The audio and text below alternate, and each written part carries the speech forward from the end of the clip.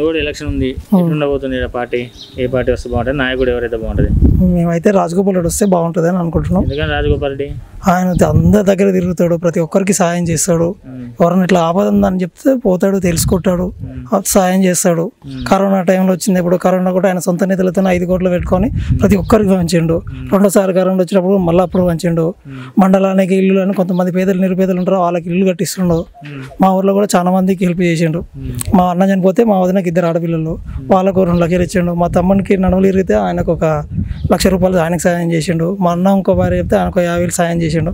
అట్లానే మా ఊరు అని ఒక్క ఊరు ఏం కాదు చాలా మందికి సాయం చేసిండు.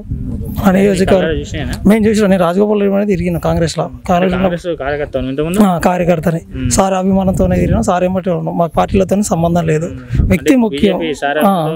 సార్ అభిమానంతో బీజేపీలోకి వచ్చినాం. పార్టీ ముఖ్యం కాదు మాకు. వ్యక్తి ముఖ్యం వ్యక్తిత్వం ముఖ్యం మాకు. కాంగ్రెస్లో ఉన్నప్పుడు ఎట్లుండే మరి? అప్పుడు జోరు ఉండే సార్ సార్ ఏడున్నా ఇంకే. అందరికి సహాయాలు చేసేది సార్ రాజగోపాల్ రెడ్డి రెడ్డితోనే ముందుకు నడిచింది. ఎందుకంటే ఆయన సార్ అందరిని గుర్తుపడతాడు. పేరు పేరుని పెట్టి వల్కరిస్తాడు.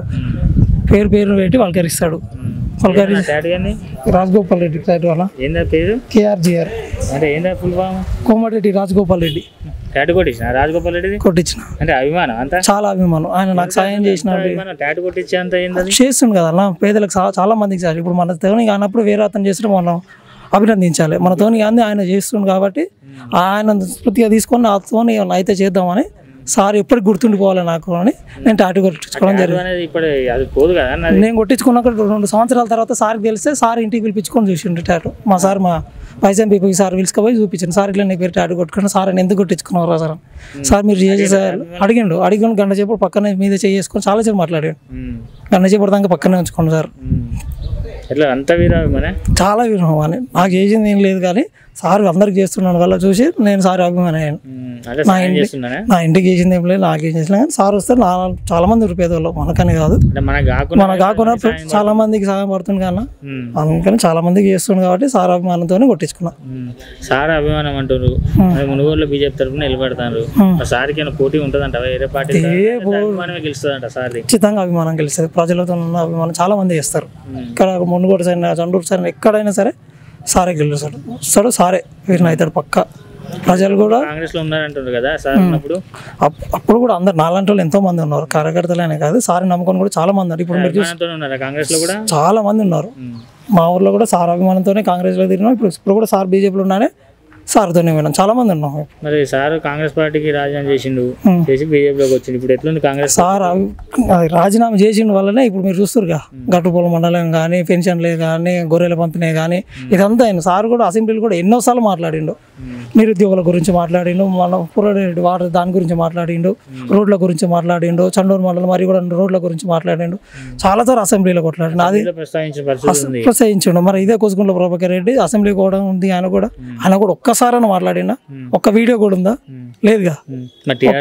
బాగా అభివృద్ధి చేస్తాడు కూసుకుంలో ప్రభాకర్ రెడ్డి. ఏ చూపివ్వనండి ఏడ చేసిండో చూపివ్వండి. మిమ్మల్ని అందరూ వేసుకొని పని అంతా తిరుగుతాను నేను. నియోజకవర్గం మొత్తం తిరుగుతా. టికెట్ కూడా కూసుకుంలో ప్రభాకర్ రెడ్డికి ఇచ్చే ఇస్తే సరిపోదు కదా. ఇస్తారంటే ఇచ్చుకుంటారు. పైసలు ఉన్న వాళ్ళకి ఇచ్చుకుంటారు. జనాలు చూస్తారు ఎవరు సాయం చేస్తారో వాళ్ళకి. ఇప్పుడు నువ్వు నేను అనుకుంటా కదా, జనాలు అందరూ అదే అనుకుంటారు. సాయం ఎవరు చేస్తారు? మనకు ఎవరు అందుబాటులో ఉంటారు? వాళ్ళకి గెలిపించుకుంటారు ప్రజలు. రాజగోపాల్ రెడ్డి రాజాంశ కాంగ్రెస్ అని ఉందా పరిస్థితి మునుగోల మునగట్లు ఏముంటుంది అన్న ఇంకా సారే. టికెట్ ఇచ్చారు మాజీ మంత్రి గోదావరి రెడ్డి బిడ్డకు. పాల్వంచడం అంటే అయితే ఇంతకుముందుకు అయితే నాకైతే గుర్తులేదు ఆ ఊరు కూడా. ఇప్పుడు ఇప్పుడు తిరిగిపోతుంది కాబట్టి టికెట్ కోసం ఆశించి తిరుగుతుంది కాబట్టి వచ్చింది. కానీ ఇప్పుడు పాల్వైసరం అనేది సార్కి పోటీ అనేది చాలా పోటీ రాదు. ఏం ఉండదంట కాంగ్రెస్ పోటీ ఉండదు సార్. ఉండదు. అంటే రాజీనామా తర్వాత కాంగ్రెస్ ఇక్కడ లేదా ముందు లేదు. సార్ రాజీనామా చేసినాక మునుగోడులో కాంగ్రెస్ అనేది లేదు. పచ్చ కుదిరినట్టు బీజేపీ ఉంది. కేసీఆర్ పాలన ఎట్లుందన్న కేసీఆర్ పాలన. నేను చేయలేదు చేసిన. చేసిందా? మీకు కొంచెం అవగాహన ఉంది కదా యువత అనేది ఇప్పుడు ఉన్న పరిస్థితుల్లో యువత ఎట్లుంది? మరి ఉద్యోగాలు లేక నిరుద్యోగ పరిస్థితి తెలుసు కదా యువతకు తెలుసు కదా. చదువుకున్న వాళ్ళు చాలా మంది రోడ్ల మీద తిరుగుతారు. కంపెనీలలో కూలి పనుల్లో పోతారు. చాలా మంది చదువుకున్న వాళ్ళు వాళ్ళకి జాబులు అయితే లేవు. ఇప్పుడు జాబులు చేసేటోళ్ళు కూడా జీతాలు ఇచ్చే పరిస్థితి కూడా లేదు ఆయన ఉందా. రైతు బంధు అని అంటారు. రైతు బంధు ఎవరికి ఇస్తాడు వందల ఎకరాలు యాభై ఎకరాలు ఉన్న వాళ్ళకి ఇస్తాడు అదే రాజగోపాల్ రెడ్డికి ఏం చేస్తాడు? మా దగ్గర ఉన్న వాళ్ళకి వాళ్ళకు లక్షలు యాభై వేలు ఆయనకి ఇస్తాడు. చెప్పిండు మూడు లక్షలు వస్తున్నాయి నాకని ఆ పైసలు తీసుకొచ్చి కూడా ఆయన ప్రజలకే పెడతాడు. వీళ్ళు ఎంతమంది పెడతారు? కోసుకుంటే ప్రభాకర్ రెడ్డి ఎంతమందికి పెట్టాను ఎవరికి ఇచ్చిండు? ఇప్పుడు టికెట్ ఇచ్చిన ఆడ ఆడ పదివేలు ఆడ పదివేలు ఆడ పదివేలు ఇచ్చి కూడా తిరిగి తిరిగినట్టు. ఏడా ఉంది? ఒకనాడు అసెంబ్లీలో మాట్లాడినోడా?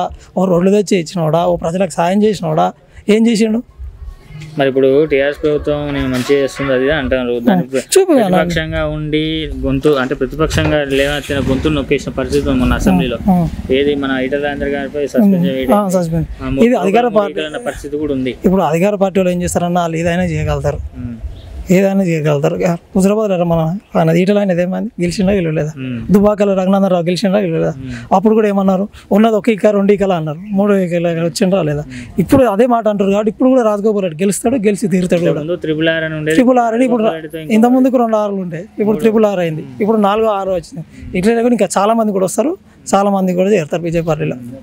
మరి హుజరాబాద్లో వంచినట్టే ఇక్కడ ఇక్కడ చేనేత బంధు అంటుండు. ఉమ్. మరి అసలు అసలు చేనేత బంధు అది సరే ఓకే చేనేత బంధు అన్నాడు రైతు బంధు అన్నాడు. ఆడేనో వాళ్ళ ఊరు వస్తుంది ఇంటికి పది లక్షలు అన్నాడు. ఎంతమందికి ఇచ్చిండో పది లక్షలు తెలియదు ఓన్లీ వాళ్ళొక్కరే నమ్- జనాలు దళిత బంధు అన్నాడు. దళిత బంధు అన్నాడు. ఇప్పుడు చేనే మన చేనేత బంధు ఉప దళిత బంధు ఉప చేనేత బంధు గిరిజన బంధు గిరిజన బంధు ఇస్తాడా? మరి ఫస్ట్ మభ్య పెడతాడు అంతే. ఓట్లు వేసినాక తర్వాత వేయడు అంటే ఎన్నికల ఎన్నికలు వస్తున్నాయి మాకు జనాలు ఓట్లు వేయాలనే ఉద్దేశంతోనే ఇవన్నీ పథకాలన్నీ పెడుతుండు. ఉమ్. ఈ పథకాలు పెట్టలేనా ఓట్లు వేయాలంటే వీళ్ళు ప్రజలు ఏమనుకుంటారు? ఇప్పుడు మనం కాకుండా ఉంటారుగా.